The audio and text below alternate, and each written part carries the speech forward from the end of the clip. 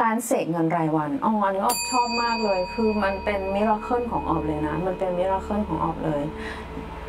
ที่ผ่านมาออบอาจจะหาเงินแบบออบหาเงินได้หลายล้านบาทนะเดือนละเป็นล้านล้านนะคะ ขายของได้กำไรเดือนละสี่ห้าแสนเนาะแบบมันเป็นเงินที่แบบเป็นจำนวนที่เป็นก้อนมากๆเลยเป็นแบบอาจจะไม่ได้ก้อนใหญ่สำหรับบางคนแต่สำหรับมนุษย์เงินเดือนเงินเดือนห้าหมื่นอย่างออบเนี่ยการหาเงินได้เดือนละสี่ห้าแสนนี่มันแบบเยอะมากๆเนาะเราหาเงินได้เดือนละเป็นล้านเนี่ยเยอะมากๆสำหรับออบนะคะ ก็ เราก็เลยตอนที่ตอนนั้นเราก็รู้สึกว่าไม่ว่าเราจะหาเงินมามากแค่ไหนก็ตามอะเราก็ยังรู้สึกว่าไม่กล้าใช้มันอยู่ดี แต่พอแบบได้ได้แบบอาจารย์ชลถานะคะ เป็นอาจารย์ที่พรานิคิลลิ่งเป็นอาจารย์สอนด้านจิตวิญญาณของออมนะอาจารย์ก็แชร์เรื่องการเสกเงินรายวัน และก็การกำจัดอารมณ์ลบอารมณ์แห่งความจนออกไป เช่น เราอยากจะทานกาแฟอะเราอยากจะทานกาแฟแบบ Starbucks มันมันแพงมาก มันแพงมากในความสึกของเรา มันเป็นสินค้าฟุ่มเฟือย เราอาจจะบอกว่า อืมจริง ๆ ก็ชอบทานกาแฟสตาร์บัคนะอยากแล้วก็จริง ๆ ก็สามารถทานได้ทุกวัน แต่ว่าตอนเนี้ยกำลังจัดการ แล้วถึงเวลานะ แบบเดี๋ยววันศุกร์เนี่ยจะไปทานสตาร์บัคเดี๋ยววันศุกร์จะไปทานสตาร์บัคเดี๋ยววันอาทิตย์เนี่ยจะไปทานสตาร์บัคแล้วรู้ไหมคะ ถึงเวลาเราจะได้เป็นเจ้าของมัน ฉันแบบ มีเงินมากมายเหลือเฟือสำหรับการซื้อนะคะ ทุกสิ่งที่ฉันต้องการ ง่าย ๆนะคะ การเสกรายวันคือการเสกที่กำจัดอารมณ์ด้านลบ ตัดความรู้สึกไม่มั่งคั่ง ภาษาที่ไม่มั่งคั่ง เช่นมันแพง เป็นแล้วเจอกัน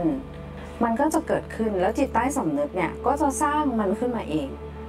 จิตใต้สำนึกจะสร้างมันขึ้นมาเองจะทำให้เราเนี่ยบางครั้งอาจจะได้มาฟรี บางครั้งอาจจะมีคนเลี้ยง บางครั้งเราก็จะรวบรวมเงิน อะไรที่อยู่ในจิตอิทธิฤทธิ์จะเกิด แต่ถ้าเราไม่เคยใส่ใจมัน เราแบบอุ้ยมันแพงมันอาจจะมีสินค้าทดแทนอุ้ยกินกาแฟโบราณแทนก็ได้ ทั้งๆทที่เราอาจจะอยากกินกาแฟสดในร้านดัง สมัยก่อนออกจะสอนนักเรียนว่า อยากเรียนคอร์สออกอะจะทำยังไง คอร์สอาจารย์ตั้งหมื่นแปดสองหมื่นห้าบางคนเป็นแค่คนทำงานเงินเดือน ไม่มีเงินเก็บด้วย อาจารย์คะทำยังไงดีคะบางคนทำธุรกิจธุรกิจกำลังแย่ค่ะ อาจารย์อยากเรียนคอร์สอาจารย์มากเลยอะทำไงดีคะขอวิธีหน่อยเอาก็บอกว่าแบบจักรวาลเนี่ยค่ะจักรวาลที่ยิ่งใหญ่เนี่ย เราคนคนคนคนหนึ่งอะจะต้องรับเงินนะคะ คนคนหนึ่งจะต้องรับเงิน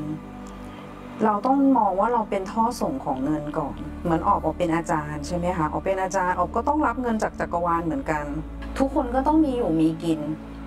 เพราะฉะนั้นจักรวาลก็ต้องให้เงินออก การที่คุณเอาเงินมาเรียนคอร์สอาจารย์ออกขวัญคุณอาจจะมองว่ามันแพงคุณอาจจะมองว่ามันแพง แต่คุณแบบคุยกับจักรวาล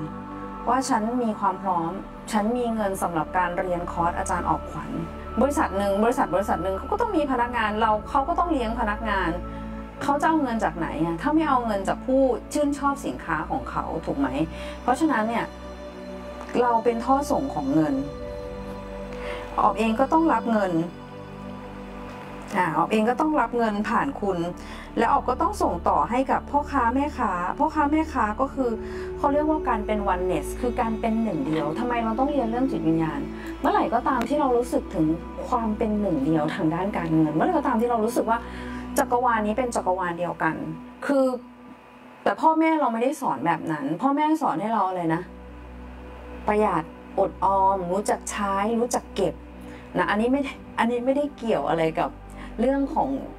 ก็ประหยัดก็ดีแล้วนะประหยัดประหยัดก็ดีแล้วอ่าอ่ารู้จักใช้ของที่มีคุณภาพก็ดีก็ถูกค่ะ แต่ว่าแล้วของที่เราอยากได้ล่ะ ออกเป็นคนที่เน้นไลฟ์สไตล์อะเราเป็นเจ้าของชีวิตที่เราอยากจะมี ตอนนี้เมื่อก่อนยังเป็นท่าความรู้สึกจนนะคะ ไม่ว่าจะมีเงินมากเท่าไหร่ เราก็ไม่สามารถที่จะซื้อหรืออยากได้ของที่เราต้องการเลย แม้กระทั่งของที่เราต้องการเรายังไม่สามารถที่จะซื้อมันได้เลย ไม่ใช่บางทีไม่มีเงินนะคะ มีเงินแต่ซื้อไม่ได้ แบบของหมดบ้างอะไรบ้างไปซื้อนู่นนี่นั่นมันไม่สามารถจะมีได้ แต่ทุกวันนี้ตั้งแต่รู้จักการเสกนะไม่ใช่ว่าจริง ๆ รู้จักการเสกมานานแต่เป็นการเสกรายวันนะคะ ที่ไม่รู้ว่าซอสจริง ๆ มันเหมือนจะรู้แต่ไม่รู้แต่อาจารย์แบบกระตุ้นอีกนิดนึงว่า กำจัดอารมณ์ลบและใส่ความคู่ควรเข้าไป